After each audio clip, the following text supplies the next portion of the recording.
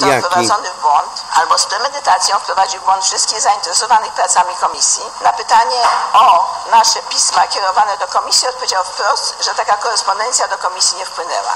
Nie mogę dalej tolerować.